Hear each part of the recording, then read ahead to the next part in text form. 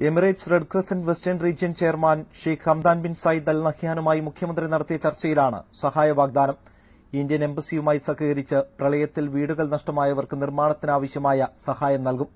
U എയിലെ ഫൌണ്ടേഷണൽ charity സംഘടനകളിൽ നിന്നും കേരളത്തിന് സഹായം തേടുന്നത് സംബന്ധിച്ചും ഇരുവരും ചർച്ച നടത്തി. നിലവിൽ വിദേശ രാജ്യങ്ങളിൽ നിന്ന് സഹായം സ്വീകരിക്കുന്നതിന് നിയമ തടസ്സങ്ങളുണ്ടെങ്കിലും ഫൌണ്ടേഷണൽ ചാരിറ്റി സംഘടനകളിൽ നിന്നും സഹായം സ്വീകരിക്കുന്നതിന് തടസ്സമില്ലെന്ന് മുഖ്യമന്ത്രി പിണറായി വിജയൻ ചർച്ചയിൽ അറിയിച്ചു. കേരളത്തിൽ ഏതൊക്കെ മേഖലകളിലാണ് സഹായം അനിവാര്യമായിട്ടുള്ളതെന്ന് റെഡ് ക്രിസന്റ് മേധാവി ആരാഞ്ഞു. ഇതിനെ തുടർന്ന് മുഖ്യമന്ത്രിയുടെ അഭ്യർത്ഥന പ്രകാരമാണ് വീട് നിർമ്മാണ മേഖലയിൽ സഹായം ചെയ്യാൻ തീരുമാനിച്ചതെന്ന് Sheikh Hamdan bin Zayed Al നഖ്യാൻ അറിയിച്ചു. കഴിഞ്ഞ രണ്ടു മാസത്തിനിടെ യു എയിലെ ജനങ്ങളിൽ നിന്ന് റെഡ് ക്രിസന്റ് സ്വീകരിച്ച പണം നിർമ്മാണ പ്രവർത്തനങ്ങൾക്ക് ഉപയോഗിക്കും. എമിറേറ്റ്സ് റെഡ് ക്രിസന്റിന്റെ സഹായങ്ങൾക്ക് മുഖ്യമന്ത്രി നന്ദി രേഖപ്പെടുത്തി.